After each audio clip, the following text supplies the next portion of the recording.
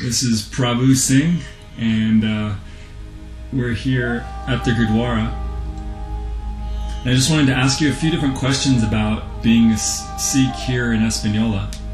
Um, one of the things that some people are curious about is, you know, wearing bana, wearing having a turban. How how is it, you know, getting a job or working in the mainstream? How do people relate to you? Is it difficult to get jobs? Um, I don't think it's difficult to get a job uh, with turban on here. For one thing, in Espanola and the surrounding areas, people are very familiar with turbans. They may not know that we're Sikhs, but at least they're used to seeing us wearing a turban. And uh, there's a lot of diversity here, and so um, they tend to not discriminate since it's also against the law. So. um, as a minority here in Espanola, um, being Sikhs, and um, how do people relate to you?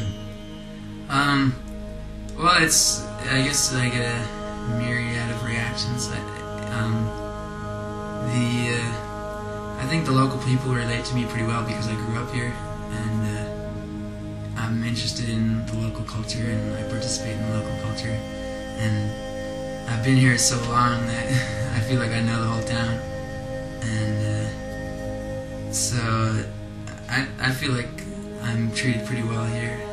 Um, I feel like I know how to relate to the people that are here because I grew up with their culture, so I know it well.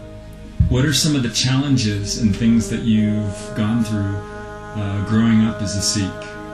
Well, in Espanola, the uh, culture here is very different the Spanish settled here in 1598, and uh, most of the population here in Espanola is Spanish from the lineage of the Spaniards who conquered here and lived here.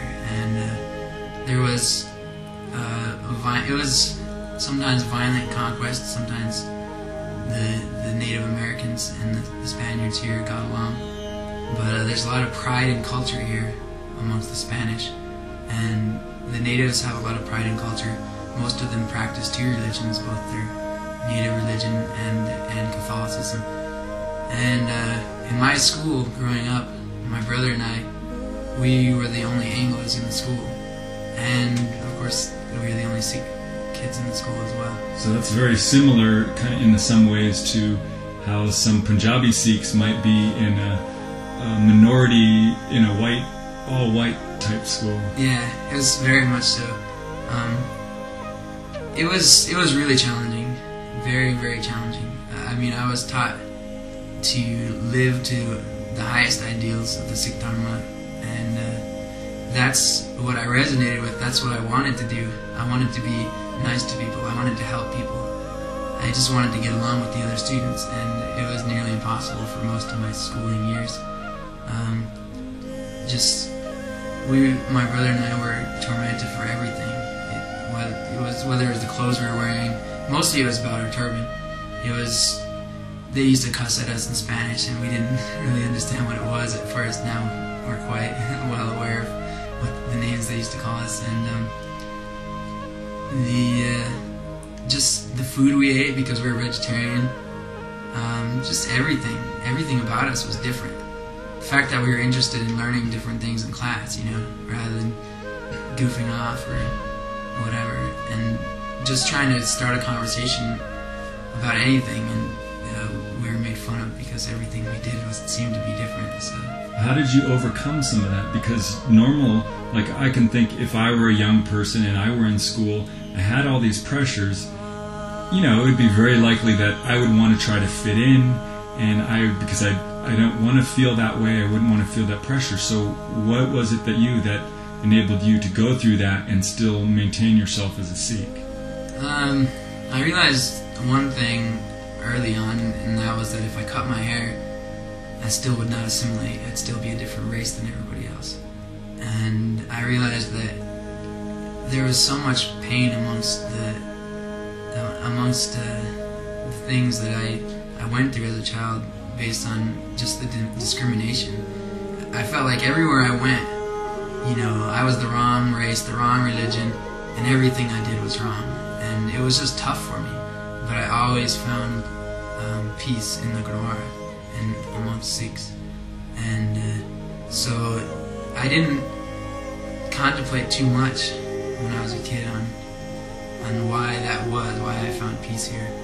But at least I had that, and mostly my sadhana, with my daily practice, you know, was tying a turban, and that was about it. And um, you know, I was influenced by my peers in some ways, and uh, I wasn't as strong as a Sikh that I feel I am now uh, when I was in school.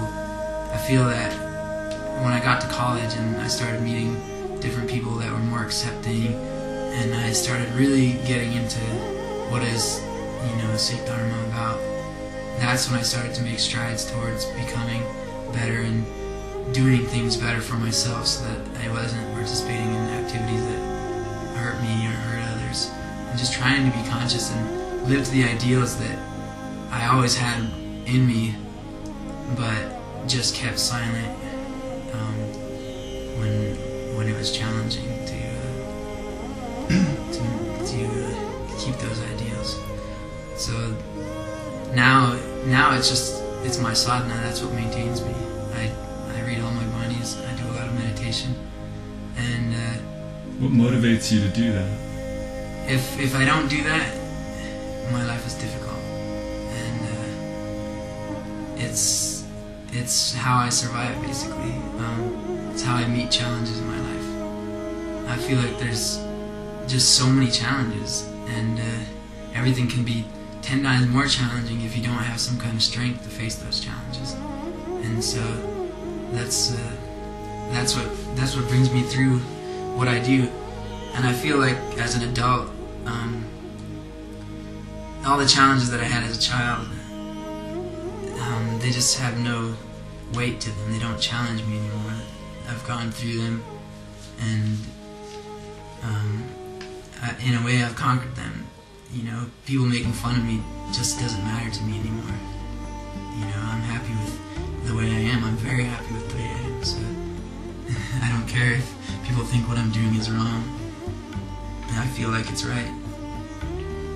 What are some of the things that you do, like in your free time? Because you know, people might say, "Oh, you're a Amritdhari, you know, you meditate a lot. Oh, it must all be like religious something." You know, Yeah. you know. Of course, I imagine that you're not meditating 24 hours in your room. You know, you do probably do things real Yeah. that normal people do. So, I have a lot of fun. Anybody who's seen my blog probably knows that I've had a lot of fun. Um, I really enjoy nature, and we have, you know, tons of opportunities to be in nature here. You know, yeah, on my blog I have pictures of me jumping off cliffs into the water, which is really fun. I like I like any kind of thrill, and I like to go on hikes. I like to just spend time up in the mountains. In the wintertime, I like to snowboard or ski, and uh, I like to do anything physical. Really, I love sports. I really like to work on my cars. I'm big into low riding. It's just part of my culture growing up here in Espanola. And uh, I have a lot of cars and I play with them sometimes. And uh, I do, sometimes I do like work at my house, landscaping or of construction, amateur construction. But I just enjoy life. Every every bit of life is is good and it, it's it's a good formula that I have right now. I, I meditate a lot so that the rest of it goes smoothly. so Prabhu, what what are some what motivates you? What motivates me is just my desire to remember God with far from there, but when I see glimpses of it, when I'm sitting in Gurdwara and I feel in that meditation, or I feel like God is sur- surrounding me, that it's possible to remember God with every breath. That's what motivates me and just to see injustice in the world, to see people suffering, and to see how gifted I am. You know, that God has given me so much. And not only given me so much, but given me enough, you know, to be happy and to share that with other people. So, what motivates me is to just help people, to serve people. That's what I really want to do. and I feel that I need to work as hard as I possibly can to gather all the resources I can use to help people, and to just be an inspiration wherever I go, and to just be the best that I can be, and uh, try to remain humble